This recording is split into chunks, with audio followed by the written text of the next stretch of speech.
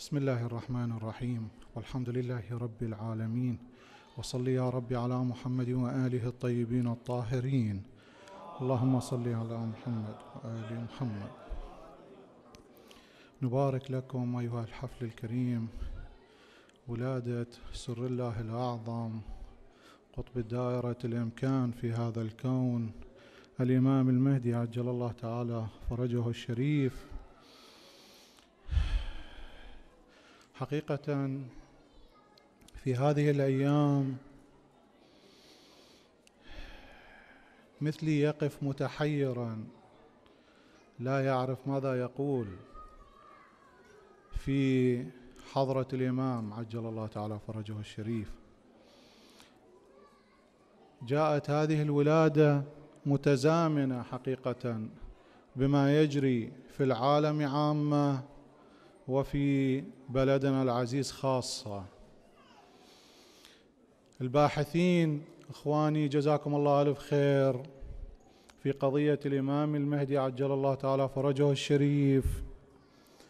ما يبتدئون بالبحث حول قضية الإمام من مولد الإمام.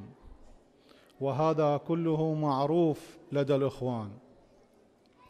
إنما البحوث تبتدئ عندهم في الأصل من الإمام العسكري عليه السلام لأنه الأمة اختلفت في الإمام المهدي في ولادته أم عدم ولادته إلى رأيين فقط. رأي يقول بأنه ولد وغائب ورأي يقول سيولد. لكن الأمة اختلفت في الإمام العسكري عليه السلام إلى 11 رأي. فالقضية موروث موروث باختلاف الأمة في الإمام العسكري عليه السلام. ولذلك هذه القضية ينقلها الشهرستاني في كتابه الملل والنحل ويعلق عليها علماءنا على الله مقاماتهم. لكن نحن اليوم نريد أن نسلط الأضواء حقيقة حول قضية مهمة. ولا بأس بذكر هذه القضية لأنه الكثير من علمائنا والأفاضل في الحوزة العلمية يشيرون إلى إنه نحن نعيش عصر إرهاصات الظهور.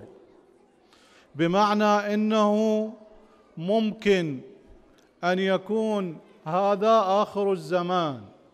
قلنا ممكن ولا نقول بالجزم إخواني حتى لا يؤخذ هذا الجزم بنظر الاعتبار لأنه كما ورد عنهم عليهم أفضل الصلاة والسلام بأنه كذب الوقاتون. فنحن لا نوقت لهذه المسألة. لكن حسب ما يقول الشهيد السعيد السيد الصدر رحمة الله عليه السيد محمد باقر الصدر يقول نحن ننظر الظروف الموضوعية للأحداث.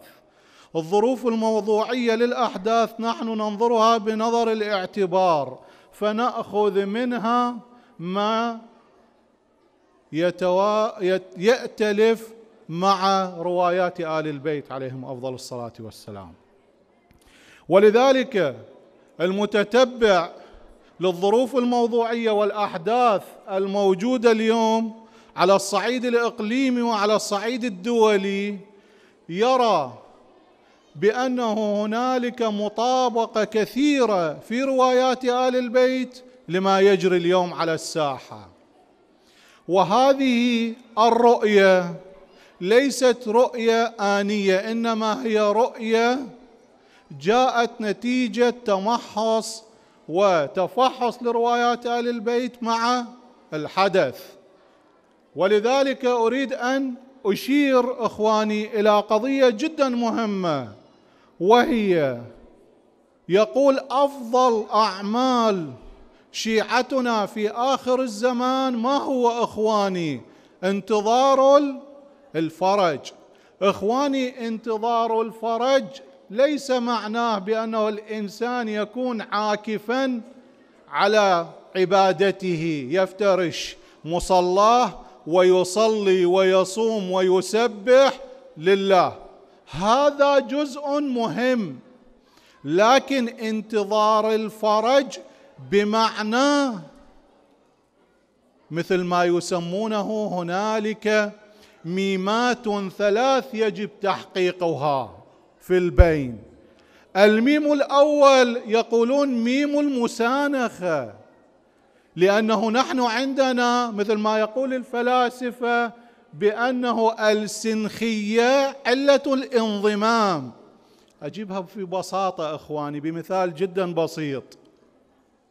المثال البسيط اليوم نرى كثير من الأزواج زوج وزوجة يتزوجون على محبة الله في سبيل إنشاء أسرة متكاملة لكن لا يحصل التوافق فيما بينهم. لماذا؟ لأنه لا يوجد سنخية في الماذا؟ في الباطن بينهم فيما بينهما. واضح؟ لا يوجد سنخية في الباطن سنخية في الظاهر مشابهة في الظاهر في الآدمية في الإنسانية موجود لكن المشابهة والسنخية في الباطن غير موجودة. ولذلك تجد يقع الخلاف فيما بينهم. ولذلك الميم الأولى التي يركز عليها العلماء التي يجب أن تنطبق بيننا وبين إمامنا عجل الله تعالى فرجه الشريف وهي ميم السنخية أو المسانخة. حتى يكون هنالك صفاء للباطن يتصل بالإمام لأنه الإنسان إذا كانت عنده كدورات باطنية لا يستطيع أن يتصل مع إمام العصر عجل الله تعالى فرجه الشريف. ولذلك الذين ادعوا المشاهدة للإمام عجل الله تعالى فرجهم الشريف وصلوا إلى هذا المعنى وهو صفاء الباطن فحصلت لهم المطابقة مع الإمام فرأوا الإمام. ولذلك نحن متى نرى الإمام؟ نحن نرى الإمام لما يظهر من غيبته عجل الله تعالى فرجه الشريف. ونقول كلنا كل منا يقول بأنه رأينا الإمام لكن لم نهتدي إلى شخصيته إلا بعد ظهوره عجل الله تعالى فرجه الشريف لأنه لا يوجد عندنا صفاء في الباطن تحصل عن طريقه. هذه الصلة والسنخية بيننا وبين الإمام عجل الله تعالى فرجه الشريف. الميم الثانية وهي ميم المؤازرة. يجب على الإنسان أن يكون مؤازرا للإمام. هسه البعض يقول بأنه هل الإمام محتاج للمؤازرة أم نحن محتاجون للمؤازرة؟ نحن نحتاج من الإمام أن يؤازرنا. هذا الطابع العام إخواني. ولذلك يقولون الناس في معرفة الإمام صنفان. صنف يكتفي بالدعاء والمحبة للإمام وصنف يرتقي عن هذه المحبة والدعاء للإمام إلى كونه يدخل في دائرة أقرب وهي الدائرة اللصيقة بالإمام دائرة الأوتاد والابدال والنجباء والصالحين مثل ما يقسمون هذه الدوائر مع الإمام عجل الله تعالى فرجه الشريف لما يقسمون يقولون بأنه تقسم عندنا إلى اولا الإمام عجل الله تعالى فرجه الشريف الذي تسمى دائرة القطب يشغلها الإمام فقط. لا يدخل أحد مع الإمام في دائرة القطب. الإمام فقط. والدائرة الثانية بعد دائرة القطب هي دائرة الأوتاد التي تعتمد أربعة أشخاص. هم يعتبرون يعتبرون مثل الأوتاد الخيمة. وهؤلاء يقال بأنه منهم منهم الخضر عليه السلام وإلياس. والدائرة الثالثة هي دائرة الأبدال. هي تتكون من أربعين شخص. هؤلاء الأربعين إذا نقص أحد منهم يعوض من الدائرة التي بعدها. وهذه الدائرة التي بعدها دائرة النجباء التي تتكون من سبعين نجيبا. والدائرة التي بعدها هي دائرة الصالحين التي تتكون من 313 أو في بعض الروايات بأنه 360 صالحا. هذه الدوائر لما ينقص أحد منها يعوض من الدائرة التي هي أدنى. فالناس في الإمام على هذين الصنفين أما صنف يكتفي بالدعاء والمحبة للإمام وصنف يرتقي ويدخل في هذه الدوائر. لكن سؤال الدوائر محددة بالأرقام فكيف بنا بهذه المليارات أو هذه الملايين؟ كيف تدخل؟ لا بأس يقول العلماء. بأنه تتسع الدوائر لكن اتساع الدوائر يكون حسب الإقبال القلبي للإنسان. اتساع الدائرة يعتمد على النقطة الأولى وهي السنخية والمشابهة في الباطن للإمام عجل الله تعالى فرجه الشريف. ولذلك الناس هنا صنفان أتذكر وأتخطر كان عندنا لما كنا في النجف أحد السادة وهو السيد عبد الصاحب الحكيم رحمة الله عليه كنا نراه لا يخرج من البيت إلا أن يضع الصدقه باسم الإمام قبل أن يضع الصدقه باسمه واسم عائلته. الصدقة باسم الإمام. يقولون الإمام يرجعها لصاحبها ويضع له مقابلها اضعافا مضاعفة. واضح أخواني؟ جزاكم الله ألف خير. فهذه الميم الثانية التي تسمى عندنا ميم المؤازرة. والامام عندنا في هذه الميم الثالثة وهي المؤازرة. يطلب منا المؤازرة. نقول اليوم كيف نحن نؤازر الإمام عجل الله تعالى فرجه الشريف؟ يقول آزر الإمام بقضاء حوائج الإخوان. آزر الإمام بمساندة فقراء الشيعة. آزر الإمام بهذه الأمور لأنه هؤلاء عيال الإمام الفقراء. فمؤازرة الإمام تأتي من هذه الناحية. فهل منا يعمل بهذه المؤازرة حتى نرتقي بالدوائر أم لا؟ هذه كل يعمل على شاكلته. الميم الثالثة وهي ميم المذاكرة.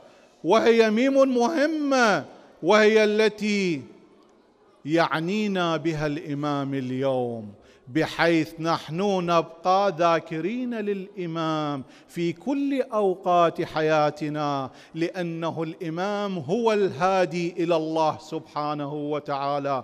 والقرآن يقول إخواني اذكروا الله ذكركم علما لآبائكم فهل نحن نذكر الإمام حتى الإمام يصبح لنا طريق وخط وصل لذكر الله سبحانه وتعالى؟ والآن الموقف الموقف هذا يقتضي إخواني ذكر الإمام. لماذا يقتضي اليوم الموقف ذكر الإمام؟ أتطرق إلى قضية جدا مهمة إخواني في علائم الظهور. البعض يرى بأنه قضية الإمام عجل الله تعالى فرجه الشريف وظهور الإمام عجل الله تعالى فرجه الشريف هي قضية آجلة. لكن الله سبحانه وتعالى يقول يرونه بعيدا ونراه قريبا. ولذلك كل الباحثين إخواني لما يقفون على الظروف الموضوعية للأحداث اليوم يقولون بأنه نحن عندنا مثل ما الكل يعرف أيضا هذه القضايا. أنا في محضركم حقيقة لست إلا كناقل التمر إلى هجر. الكل يعرف هذه المعلومات لكن نحن عندنا من باب ذكر. واضح إخواني؟ فقط ذكر إنما أنت مذكر فقط في هذا الباب. ولذلك كل العلماء يقولون لما يأتون إلى العلامات الحتمية وغير الحتمية يركزون على أمرين إخواني. الأمر الأول الذي يكون إخواني قبل ظهور الإمام عجل الله تعالى فرجه الشريف. وهو انقلاب الشام وسقوط دولة الشام. هذا الأمر من المهمات إخواني. انقلاب الشام وانتهاء الحكم في الشام هذا من المهمات الحتمية التي يشير إليها العلماء لأنه انقلاب الشام معناه ظهور السفياني والسفياني من الحتميات. واضح إخواني؟ والسفياني بظهوره إخواني. تقول الروايات إنه ستة أشهر من استلامه لحكم الشام. طبعا هنالك رواية قبل الدخول في هذا المعنى لأمير المؤمنين عليه السلام. لما يشرح من أين يظهر السفياني إخواني. يقول أمير المؤمنين عليه السلام بأنه السفياني إخواني يظهر من الوادي اليابس وهي منطقة أيضا تسمى بمنطقة حوران وما يسمى اليوم بدرعة. واضح أخواني؟ يقول أمير المؤمنين بأنه بداية الحركة لانقلاب الشام وظهور السفياني تبدأ من درعا واضح أخواني؟ هذه الشرارة الأولى تبدأ من هنا وهنالك اقتتال بين ثلاثة رايات في الشام. واضح أخواني؟ بعدها يأتي السفياني ويقضي على هذه الرايات ويستلم حكم الشام. هذا بمختصر أخواني لأنه لنا في هذه القضية الله وفقنا وإن شاء الله يوفق جميع المؤمنين لنا في هذه القضية محاضرات امتدت لثلاث سنوات البحث في قضية الإمام وقضية علامات الظهور للإمام وربطها مع الظروف الموضوعية للأحداث الموجودة. واضح أخواني جزاكم الله ألف خير.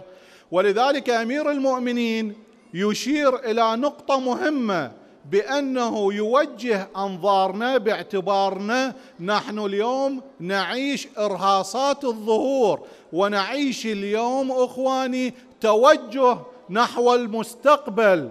مستقبل مدرسة آل البيت مستقبل الدولة الإلهية للإمام عجل الله تعالى فرجه الشريف. في هذه الأمور القضية هذه يجب الالتفات إليها وهي خراب الشام وانتهاء الحكم في الشام. بعدها استلام السفياني إخواني لا يوجد عندنا فسحة كثيرة من الوقت باستلام السفياني لأنه بعد ستة أشهر من استلام السفياني لحكم الشام مباشرة أول فتحة يد له من إسرائيل وأعوان إسرائيل هو دخول الكوفة. إخواني. أول دخول عسكري يكون للسفياني بعد ستة أشهر من استلامه لحكم الشام هو دخول العراق ويدخل العراق من عدة محاور إخواني. مثل ما البعض أيضا يرى ويطلع على روايات أهل البيت يقول بأنه يدخلون عن طريق ربيعه وديار بكر والموصل يدخلون أيضا عن طريق ثاني إلى أن تحوط رحالهم مثل ما يقول الإمام كيف بكم وإذا السفياني وضع رحله في رحبة الكوفة. واضح أخواني؟ في هذه المسائل في هذه المسائل أخواني نحن اليوم كأتباع مدرسة أهل البيت يجب أن نكون من المترقبين للحدث إخواني. من المترقبين لهذه الأحداث لأنه اليوم نحن كأمة تمر بمنعطف خطير إخواني. هذا المنعطف يجب أن نقف على أحداثه ويجب أن نكون ملتفتين لما يجري من حولنا. لأنه إذا الإنسان بقى غافلا يباغت إخواني وينتهي ولا يجد له حلا أصلا. واضح إخواني؟ ولذلك هذه الحركة وهي حركة انقلاب الشام واستيلاء السفياني على الحكم وبعدها انطلاقه إلى العراق هذه من المهمات التي يجب أن يقف عليها الإنسان. الآية الثانية أو العلامة الثانية التي يركز عليها أيضا وهي الصيحة السماوية التي تكون في الليلة الأولى والصيحة الثانية تكون في بداية الليلة الثانية. واضح أخواني؟ وهذه تكون في الثالث والعشرين من شهر رمضان. أما السفياني وظهور السفياني يكون في رجب وظهور الإمام عجل الله تعالى فرجه الشريف يظهر في التاسع من محرم في مكة وفي العاشر من محرم صباح العاشر من محرم يلقي الإمام البيان الأول على الملأ من مكة. هذه الأحداث متزامنة بين شهر رجب وشهر رمضان وشهر محرم. هذه تقريبا عندنا من شهر رجب إلى شهر محرم تقريبا ستة أشهر تكون هذه كلها هي تكون حركة لظهور الإمام عجل الله تعالى فرجه الشريف. وكل حركة الإمام من السفياني إلى تمام حكم العالم للإمام عجل الله تعالى فرجه الشريف ودخوله في هدنة مع الغرب كلها مثل ما تقول الروايات عندنا 14 شهر أو 15 شهر وينتهي كل شيء. واضح أخواني؟ جزاكم الله ألف خير. ولذلك يجب علينا أن نكون من المترقبين أخواني لأنه نحن في حال اليوم تكالب أممي موجود على هذه المدرسة. وهنا الإنسان يقف حقيقة يقف ماذا يقدم للإمام عجل الله تعالى فرجه الشريف؟ هل يوجد شيء يقدمه الإنسان للإمام عجل الله تعالى فرجه الشريف أم لا؟ وهذه الفترة الأخيرة للتمحيص إخواني. الإنسان دائما متقلب إخواني في الابتلاءات والتمحيصات. هذه الفترة عندنا إخواني هي تسبق آخر فترة للتمحيصات لأنه آخر فترة عندنا للتمحيصات إخواني هي تكون يوم الأبدال يوم يدخل الإمام عجل الله تعالى فرجه الشريف الكوفة ويخرج من الكوفة إلى منطقة عذرة اللي هي اليوم تعرف بسجن عذرة اللي هي 30 كيلو عن دمشق. يحط رحاله هنا الإمام ويقف الجيشان جيش الإمام وجيش السفياني. وينادي الإمام ائتوني بابن عمي السفياني. فيجلس معه في خيمة واحدة ويخرج السفياني من الخيمة مبايعا للإمام عجل الله تعالى فرجه الشريف. لكن بانسحابه إلى داخل دمشق يرجع وينقلب بالبيعة. على الإمام فيقيله الإمام هذه البيعة. هنا أخطر موقف لنا كأتباع مدرسة آل البيت. إذا الله سبحانه وتعالى جعلنا وجميع المؤمنين من مقوية سلطان الإمام ومن الذين يقاتلون تحت راية الإمام هنا الموقف الأخطر يقولون. لأنه يسمى يوم الأبدال. ومعنى يوم الأبدال يتبدل من الفريقين. فريق من جيش الشام ينقلب على جيش الشام ويدخل في ضمن جيش الإمام. وفريق آخر يكون يقاتل تحت راية الإمام وفي تلك اللحظة يخرج من تحت راية الإمام يدخل في حزب السفياني فهنا الموقف الأخطر يقولون إخواني. ولذلك اليوم موقفنا أهون من ذلك الموقف لكن إذا فتحت بصائرنا إخواني لأنه اليوم الرايات كثيرة كما تعبر الروايات قبل ظهور الإمام. قبل ظهور الإمام هنالك اثنا عشر راية ترفع كل منها يدعي الإمام. فكيف بنا ونحن لم نرى الإمام؟ وقلوبنا ليست عامرة بحب الإمام. ونحن لسنا أصلا. البعض إخواني لما نتكلم في قضية الإمام ونقول بأنه إن شاء الله الله سبحانه وتعالى يعجل فرجه ويقرب لنا ظهوره. ينقبض.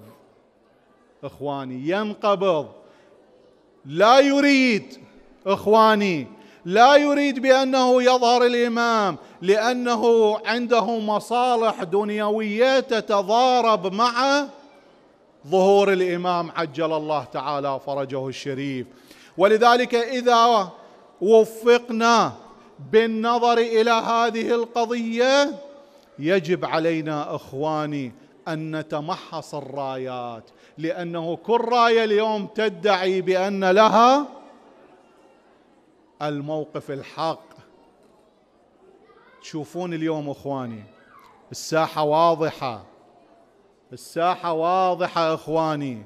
اليوم هذا من هنا يرفع راية ويقول أنا ممهد للمهدي.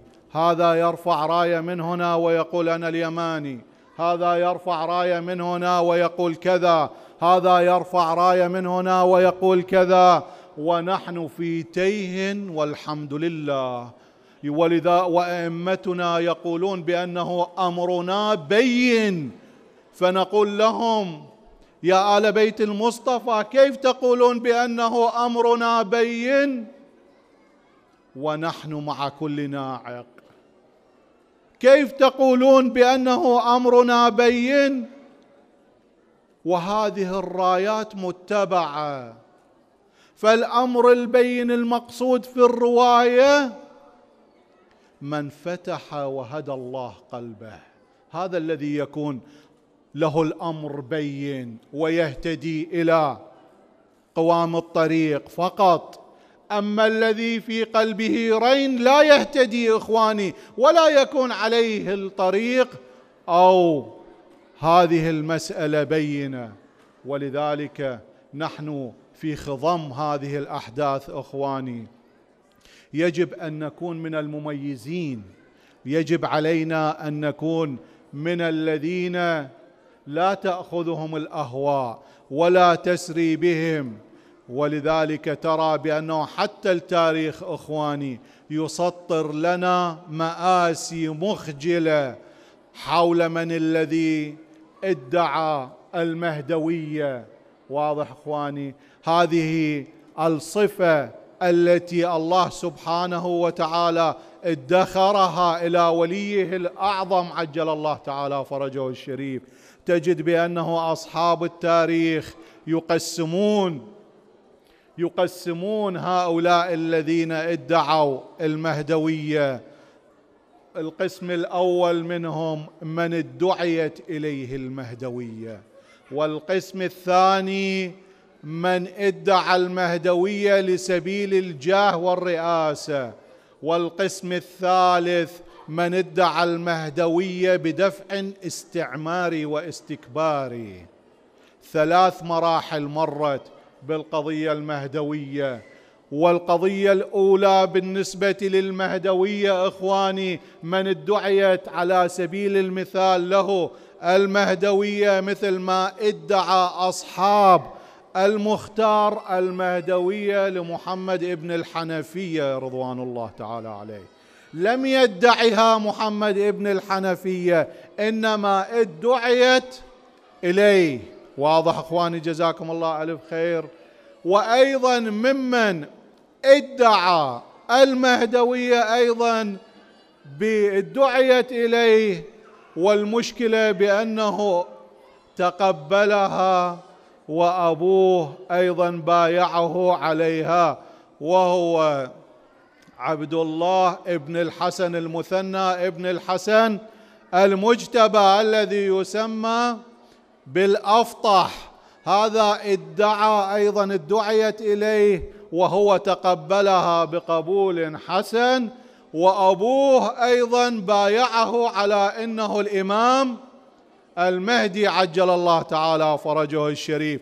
وأيضا المنصور العباس الدوانيقي بايعه على إنه هو الإمام. لكن بعدما آلت الأمور إلى بني العباس واستلم المنصور زمام الحكم ادعاها لابنه المهدي وبايع ابنه المهدي على انه هو الامام عجل الله تعالى فرجه الشريف والذي أيضا ادعى المرحلة الثالثة ادعى المهدويه بدافع استكباري ومن جهات خارجية استعمارية هم ما يسمون اليوم بالبابية علي محمد الباب.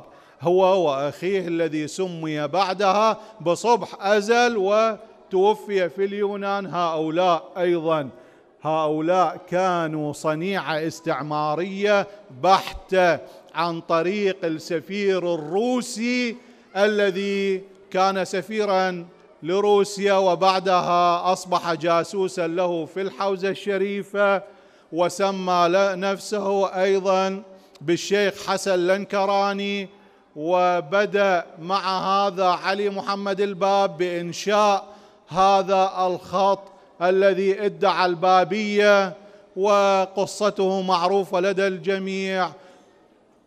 فيجب علينا إخواني الوقوف على هذه الحقائق.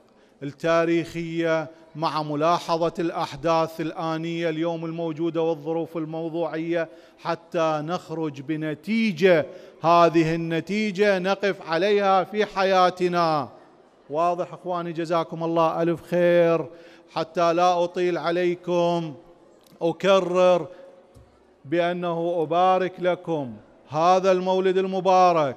وعذرا للإطالة إذا أطلنا لكن اليوم نحن نعيش ولادة فرحة.